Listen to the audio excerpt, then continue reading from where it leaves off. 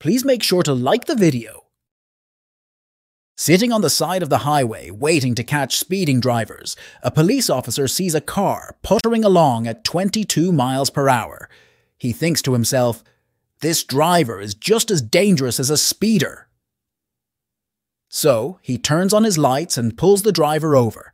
Approaching the car, he notices that there are five blonde ladies, two in the front seat and three in the back, eyes wide and white as ghosts. The driver, obviously confused, says to him, Officer, I don't understand. I was going exactly the speed limit. What seems to be the problem? Ma'am, the officer replies, you weren't speeding. But you should know that driving slower than the speed limit can also be a danger to other drivers. He then asks the woman to get out of the vehicle to check if she isn't drunk driving.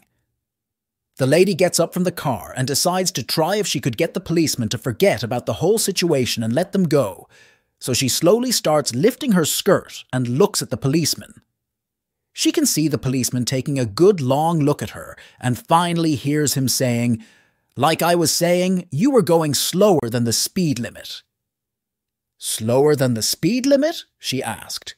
No, sir, I was going the speed limit exactly. 22 miles an hour, the blonde lady says a bit proudly.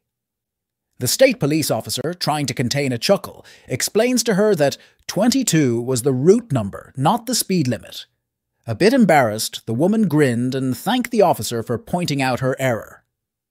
But before I let you go, ma'am, I must ask Is everyone in this car okay? These women seem awfully shaken, and they haven't muttered a single peep this whole time, the officer asks.